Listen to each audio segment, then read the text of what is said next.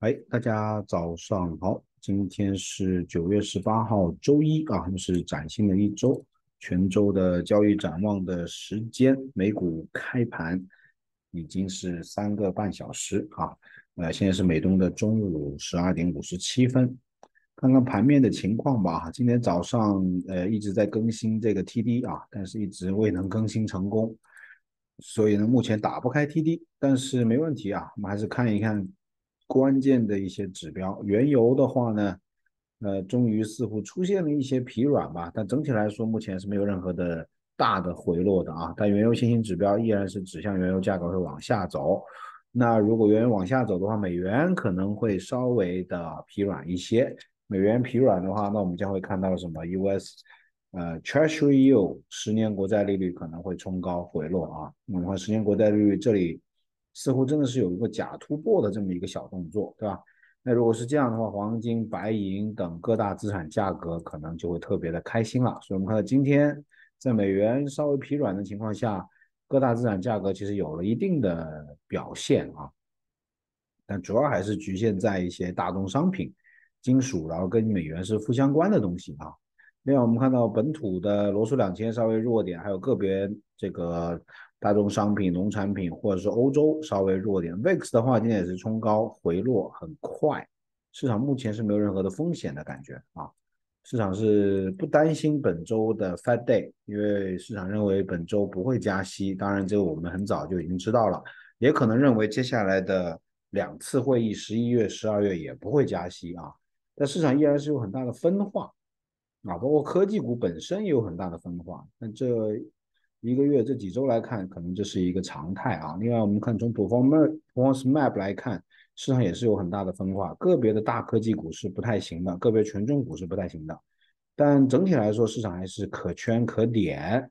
呃，只是我们看到这不是一个全部的一个行情啊。包括其实我们看到从今年以来，或者这一轮。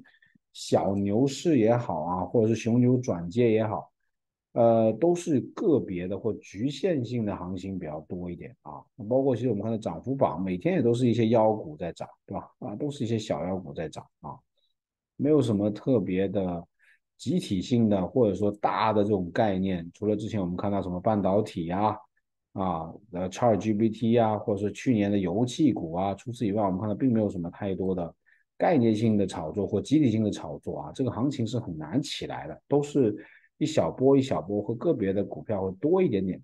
既然我们看大市值公司的话，就有一个 IRDM，这我们之前有关注的。除此以外的话，我们看到二十多只股票上涨超过百分之五，一个 B 链以上，总共一百多只股票上涨超过百分之五，还行。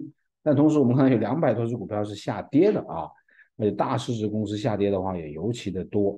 这里面很多下跌的股票也不太适合去抄底，也很多是估值上的问题，因为国债利率啊，这还是高居不下，美元对这些可能还是会有些压力的啊。但我们也说过，这可能很有可能会马上会缓解，对吧？很有可能会马上缓解。那如果一旦缓解的话，我们将会做什么呢？反向指数的话，SLK 可能会回落下来，包括 TSQ 可能继续还是会低位徘徊，甚至可能破位都有可能。因为如果说一旦估值打开的话，其实市场是还是有很多空间的，尤其是高估值的东西反弹一下，我觉得并不是不可能的。尤其像 TARK，对吧？还有其实中概股啊，这些估值都是相对便宜的地方，这些地方其实都是有很多的一些呃优质的资产，或者说很低洼的价值所在的地方啊，都是值得去注意的啊。包括可能半导体，还有说老布最近回调也挺到位的啊。那我们看到相对比较强的话是银行。啊，银行指数、区域性银行、金融指数都很强。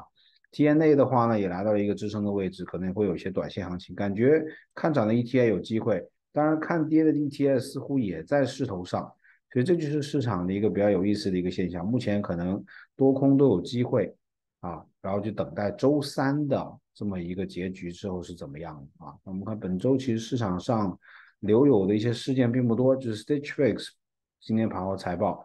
General Mills、Steelcase Auto Direct、呃 AutoZone，还有 FedEx、KB Home、Garden Restaurant、Farset，这没有什么特别的啊，没有什么特别的。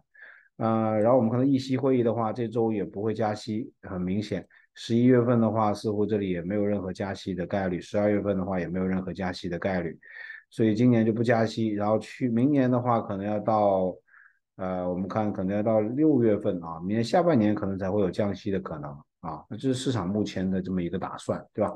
那只要这个打算不变，我觉得属于是利好，或确认的话属于是利好，但估值啊，包括积极性的规律啊，其实还不是说完全，呃，对市场来说是一个利好，对吧？我觉得这里市场可能九月份需要有一个回调，然后才为了十一、十二这么行情去走的啊。而且情绪上来说，我觉得目前可能也不太利好于当下这个市场啊，属于一个中性的情绪，或者说 C N N Fair Green Index 也没有看到极端的摇摆。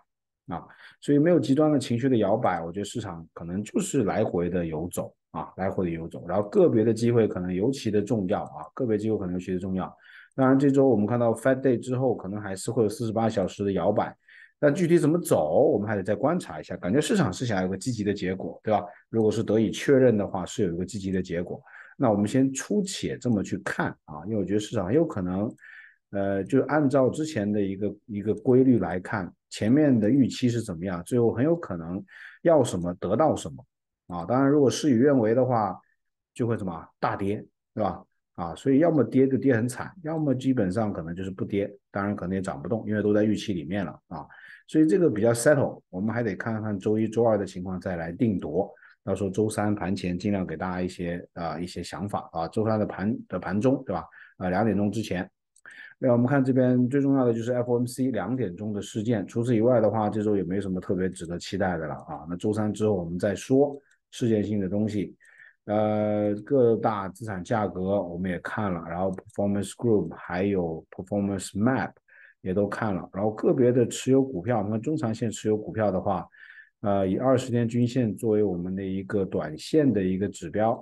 只要站在二十天均线以上，我们就可以把它当做是一个健康的趋势。这里只有九只，这九只的话呢，其实大家可以选一选，都还是非常漂亮的圆弧底啊，这些都是可以选择的。除非有一些涨了很多的，像 DraftKing 啊、抽榜啊，还有 NTNX 涨了很多的，其他我觉得都没有涨太多，都可以关注啊。当然 Platia 也涨了不少，最近对吧？在这里面按 Performance 来分的话，这里面只要不涨多的都可以。Year to date 没怎么涨的，或者是跌了的，这里面其实有五六只都还不错啊。我们看涨得多的这些就不要去追了，对吧？这些已经开年涨了一百多个 percent、二三十个 percent 的了，啊，那我觉得这里面可能涨没涨的，或才涨了个位数的都可以关注啊。那个股的机会，我觉得还是尤其的重要的啊。这个市场其实是选股为王啊，呃，各个板块、各指数之间轮动的是非常的快，但是很难有集体性的、持续性的拉升。但是个别股票的话是可以控制的啊，个别股票是可以控制的，大盘。感觉更多是被操控，然后没有一个明确的方向，啊，背后的目的和意义不得而知。但是呢，感觉还是要等到周三之后才有更多明确的信息啊。那这是这一周的开盘的一些简单的一些展望，事件性的新闻等周三。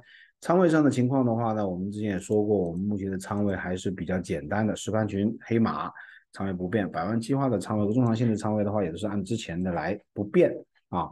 我们看百万计划仓位的话，按照我们上周呃给出的调整之后的话呢，大概是这么一个情况。我们看这里，呃，中长线有这几只，对吧？啊，中长线有这么几只，然后呃，百万计划的仓位我们看是有这么多只，对吧？这些其实回到这个 portfolio 来看吧，可能更好看一些。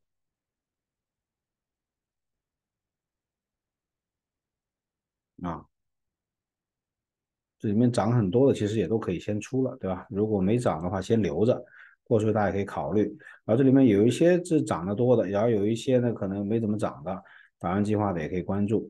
然后另外的话呢，啊，刚刚我也一直在搂这个新的这个 TD 的数据啊，这个 TD 数据终于出来了，我们一会儿看看资金流的情况，啊，是仓位的一个情况吧。然后另外实盘的，当然是黑马中长线百万的仓位啊，我们看实盘的话是了不。在等机会加仓，S L K 的话应该还行啊，S L K 是应该有赚钱啊，实盘仓位比较少，期权期货没仓位，目前是啊。然后另外我们看这个刚刚大家提到的，嗯，资金流这边 T D 的出来了啊，顺便也看一眼，原原油先行指标呢依然是很大的分化，这个我们应该不用说了。然后今天早上的 Vol 的 A D D Take 的情况，一会儿我在群里面补充一下吧。感觉还是偏疲软，但是不够太大的卖盘卖压砸不下去啊。风险方面的话，一会儿我跟 VIX 一起也在群里面给大家发啊。那那今天盘面的情况的话，大家就一会儿看这个直播间了，是吧？那我就不做过多的更新了，或者是文字的更新发到群里面啊。那我们今天先这样子，明天的早上早盘直播，我们同一时间同一点，我们不见不散。Until next time, children, and stay profitable。祝大家一个愉快的交易日啊，一个愉快的交易周开始。然后我们呃网站上见，明天早上见，拜拜。